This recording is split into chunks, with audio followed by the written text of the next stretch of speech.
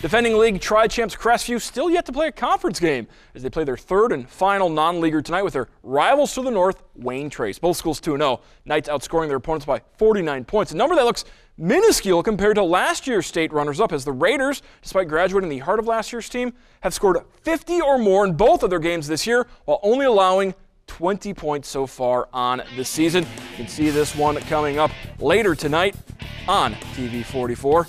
Tyler Showalter takes the snap for the Raiders, rolls to his left, reverses field, and a lot of open real estate.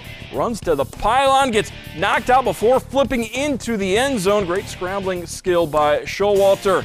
Now near the goal line, Showalter finds a hole and gets into the end zone for Wayne Trace. They can't convert the two-point conversion, so Crestview's lead is 7-6. Raiders with the ball again. Showalter works the pump and go, looking for David Sin reels it in. The over the shoulder catch brought down at the 22 yard line. Raiders remaining in the air as Tyler Showalter, you know they got a bunch of Showalters on that team. He finds Darren Showalter in the flat, goes the rest of the way. A 23 yard Showalter to Showalter touchdown. Wayne Trace leading.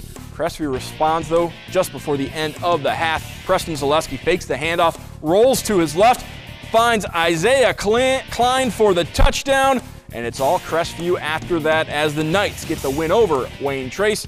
56 32, your final.